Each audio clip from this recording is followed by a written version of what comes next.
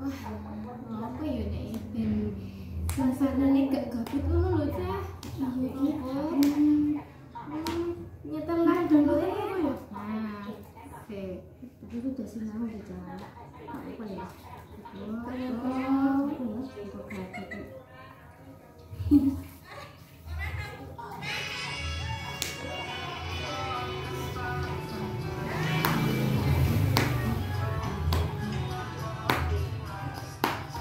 di sana sakit banget. Masya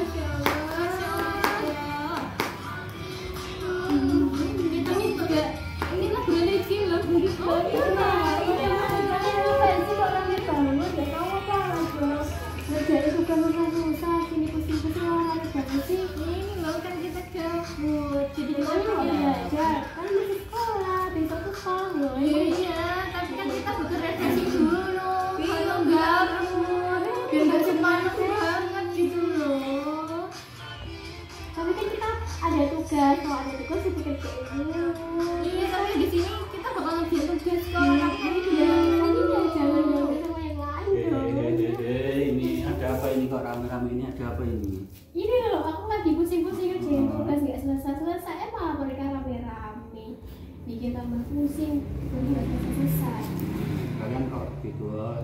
Kalian kan sebagai anak muda, sebagai generus bangsa atau eh, generasi penerus bangsa harusnya lebih semangat belajar. Jadi punya HP nggak cuma buat mainan.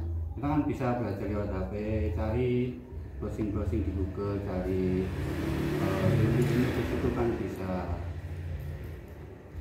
Alah, ya kita juga bakal nyari, tapi sebentar dulu. Kita tuh masih eh, sini. nyari musik dulu gitu loh, istirahat. Tapi Indra aku gak musik, mungkin dong setiap saat gini nyari Bener. materi kayak gitu. Oke, aku juga refreshing biar nggak sepaneng. Tapi kalau semakin kita menunda-nunda pelajaran, menunda-nunda kegiatan yang harus kita lakukan nanti bakal lebih males. Alah, tugasnya karena buku lah. Kok suasananya malah gak nganggur-nganggur, kita sendiri yang keteteran. Nah, ya pokoknya jangan menyanyikan waktu nanti tidak menyesal akhir. Eh, kalau untuk saat ini kan belajar lebih mudah eh, dari referensi itu gampang lewat HP. Coba kalau dulu belajar itu mangkat sekolah kadang nyebrang sungai. Perlu perjuangan Per- yang perjuangannya berat sekarang fasilitas sudah komplit sudah maju jadi harus lebih semangat belajar lagi Nah, apalagi kan ini momennya adalah Hari Kebangkitan Nasional. Kita tuh juga harus bisa meneladani sikap para pahlawan terdahulu, gimana semangatnya mereka untuk bisa gimana secara membangkitkan Indonesia ini membangkitkan para masyarakat para rakyat Indonesia, Indonesia agar lebih baik lagi. Nah, setelah diperjuangkan mereka hanya berjuang mati-matian, eh malah sekarangnya kita menyepelekan. jadi eh, dulu Dr. Sutomo dan teman-teman itu mendirikan organisasi Budi Utomo jadi untuk eh, menggugah para pemuda-pemuda biar semangat bangkit lagi eh, untuk kesadaran nasionalismenya Nah, nasionalisme kita harus cinta Indonesia. Pasti kan teman-teman juga punya cita-cita toh. Nah, cita-cita apa pun itu kan juga harus diperjuangkan.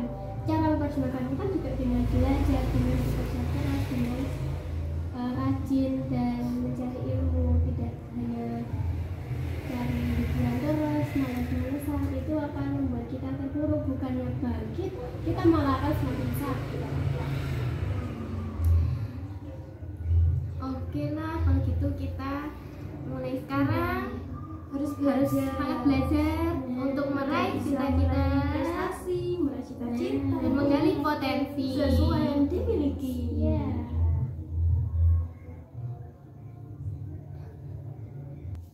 Nah, untuk teman-teman sahabat Fatona di luar sana, untuk sahabat-sahabat semuanya, juga tetap semangat belajar ya. Jangan sia-siakan waktu. Jangan sia-siakan masa muda kita. Manfaatkan masa muda kita dengan berproduktif dengan mencari ilmu dan berkegiatan yang bisa menambah value diri kita. Seperti kita walaupun dengan keterbatasan tetapi harus tetap semangat belajar untuk meraih cita-cita. Seperti di teman-teman rumah hebat Fatona ini. Rumah hebat Fatona kreativitas tanpa batas.